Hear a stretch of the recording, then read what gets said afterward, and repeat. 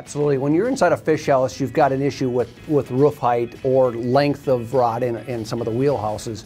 And so I'll, I'll, adjust it based on if I'm outdoors fishing on a bucket or standing or actually fishing out of the cab of the pickup truck. Uh, I like the longer rods in those situations, but when you're in a fish house, a lot of times it's really dictated by how much room you have. I purposely pick my houses with high ceilings. And even my portable houses, I use like the X200 from Clam because it's got a, a high ceiling. And that way, I like using, for walleyes, anywhere from a 28 to 34 inch rod. It, I'm prepared for all, all things then. I can handle a big fish and, uh, or catch, you know, two pounders all day long.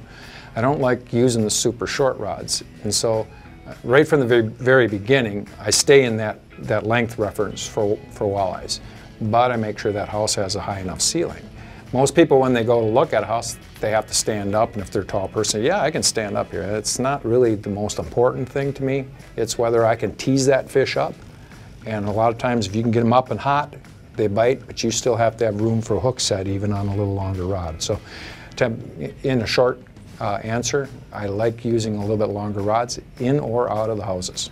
Uh, I definitely use a longer rod outside. In fact, I wish they made longer houses, bigger houses, taller houses, because I really like these long rods a lot. And, and what I don't like about long rods inside of a house is that every time you catch a fish, it goes thwop at the top of the house. And every time I go thwop, I let everybody in the county know I just caught one. A lot of times I'll use a shorter rod. I have the 25 inch quick tip and 25 inch light. When I go outside, I'm using a 30. I don't even mind a 35 inch uh, even long rods are nice, they all have their place. But inside, you don't want to hit the fabric. You want good hook sets. Shorter rod on the inside, longer rod on the outside. And as far as line, fluorocarbon, fluorocarbon has a better sink rate. Could you carry a rod over for both applications? Yes, but I think once you take your game to the next level, that would be like uh, a golfer, you know, does he use a one wood uh, for every shot as you would a three wood? So the answer would be no. Um, so I would say once you start perfecting your profession and understanding ice fishing, you're going to want typically a different rod inside and outside in order to take your game to the next level, I would say. No, my, I'm using the same, same rod when I'm fishing off my snowmobile or if I fish in, in, in my house. If you fish a lot of super lines, you need to keep it warmer or fish with bigger guides but I'm a, a mono guy, so I'm using the same rod inside or outside. When I'm fishing inside a heated shelter, um, you have the opportunity to fish many different ways. You can pick and choose. You can pick different reels um, that are temperature sensitive. You can use different lines. You can use a braided line. You can use whatever you want, and it works fine. Now, the minute you step outside that shelter and it's minus 20 or minus 10, now that's where things change. That's where reels and equipment don't work the same. When you're outside and it's really, really cold, you know, you really want to focus on mono fluorocarbon outside in those cold applications where, you know, the braid and stuff don't work as well.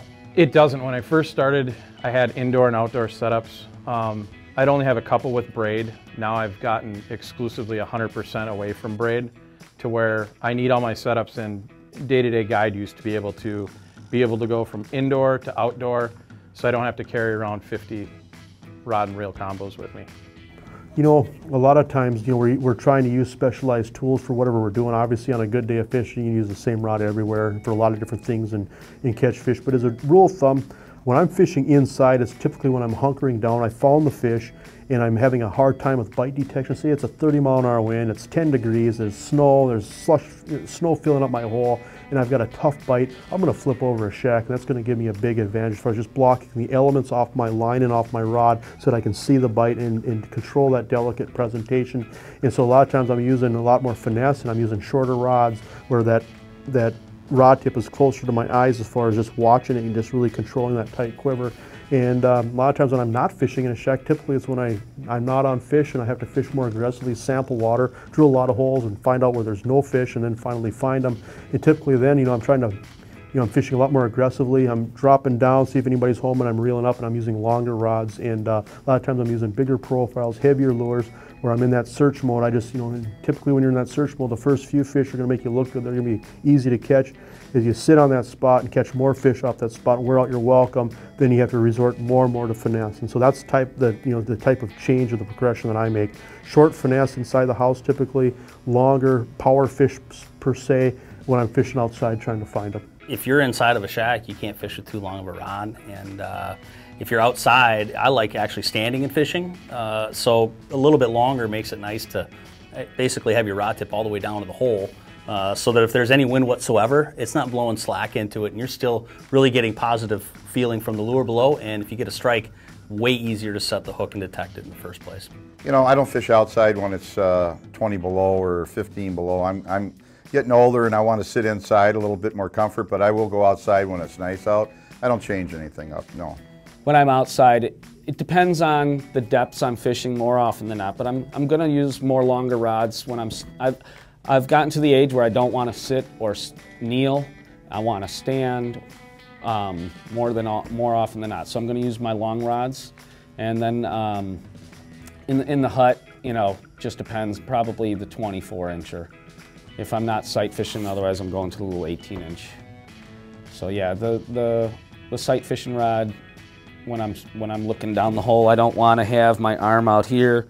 You know, I'm not going to fit in my little hideout even though it's a big roomy shack, it's I need you know I need the short pole. So if I'm if I'm fishing straight away, deeper water, I'm going to use the 24 inch, and then if I get outside, I'll go to the 32 or the 30 inch or the 48 inch.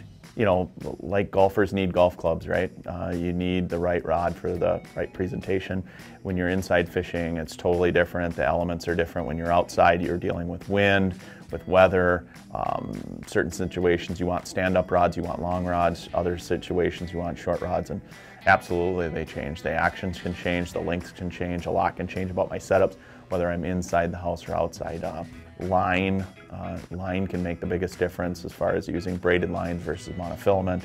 Um, all those things factor into the rods that I rig up for for fishing, especially in the winter. You know, when you're dealing with so many different types of weather patterns and elements.